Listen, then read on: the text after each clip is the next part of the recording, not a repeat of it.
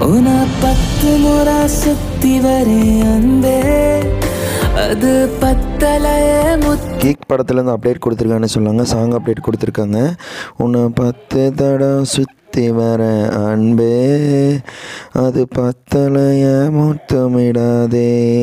பாட்டு வரியே செமையாக வந்திருக்குன்னு சொன்னாங்க நம்ம சந்தானம் ஹீரோயின் செம ரொமான்ஸு செம இதுன்னு சொன்னாங்க சந்தானம் அவங்க வந்து பார்த்திங்கன்னா ஹீரோயினை வளைச்சு வளைச்சு ஃபோட்டோ எடுக்கிறாங்க.